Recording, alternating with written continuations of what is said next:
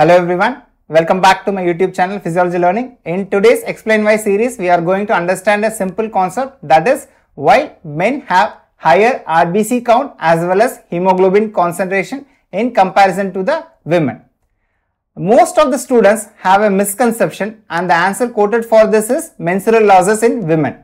This is absolutely a wrong answer because the losses of menses in women is very minimal in comparison to the levels of higher hemoglobin as well as higher RBC count in men. So menstrual loss is absolutely a wrong answer because a minor loss through menses will cause an hypoxia which can produce the erythropoietin. So actually it is beneficial for the women.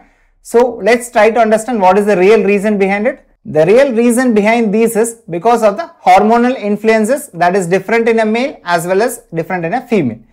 The reason for this is the androgens the predominant androgen that is the testosterone, they are direct stimulant for the erythropoietin. What they do is they directly stimulate the erythropoietin. And all of us know this erythropoietin is a very good stimulus for the production of RBC with the help of producing colony forming unit erythroblast which finally gets converted into an RBC. Not only this, it also can directly stimulate the bone marrow cells. So there is direct stimulation of both for the erythropoietin from the kidney as well as the bone marrow.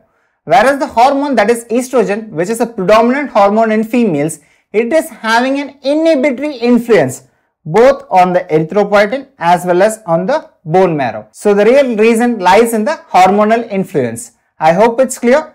Thank you for watching the video. Stay tuned for more videos. Thank you.